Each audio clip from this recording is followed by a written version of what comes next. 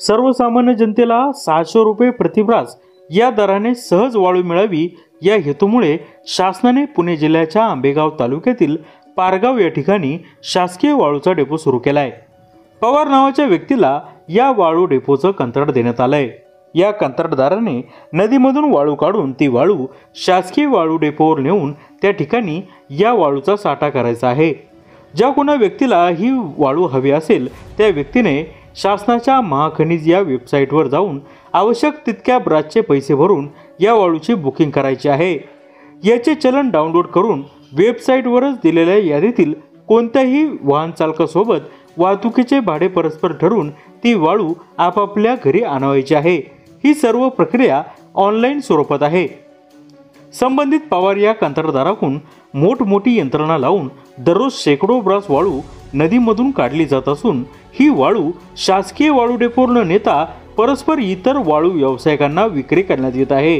हे वाहतूकदार चक्क नंबर नसलेल्या वाहनातून अगदी बेधडकपणे बेकायदेशीर वाळूची वाहतूक करत असतात जी चार ब्रासची वाळू सहा ते सात हजार रुपयांना सर्वसामान्य जनतेला मिळायला हवी होती.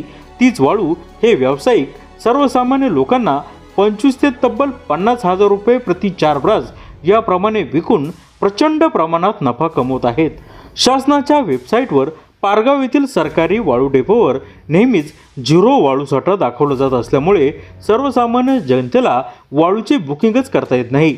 हा प्रकार गेल्या अनेक महिन्यांपासून सुरू असून देखील व दररोज नदीमधून तीनशे ब्रासपेक्षा जास्त वाळू काढून बेकायदेशीरपणे त्याची परस्पर विक्री केली जात असताना देखील महसूल यंत्रणा मात्र सोयीस्करपणे दुर्लक्ष करत आहेत. अगदी तक्रारी करून देखील आंबेगावचे तहसीलदार तसेच प्रांत अधिकारी सुद्धा या गंभीर बाबीकडे दुर्लक्ष करत आहेत.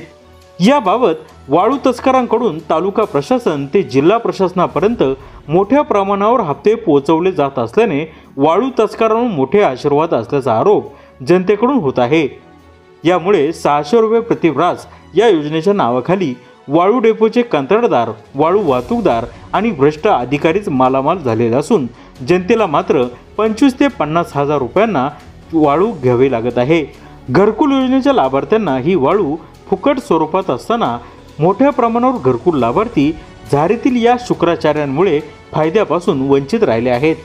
दिवसा ढवळ्यात सुरू असलेल्या या लुटीची दखल आंबेगाव तालुक्याचे आमदार व राज्याचे सहकार मंत्री दिलीप वळसे पाटील हे घेतील व या गैरप्रकाराला आळा घालतील हीच अपेक्षा.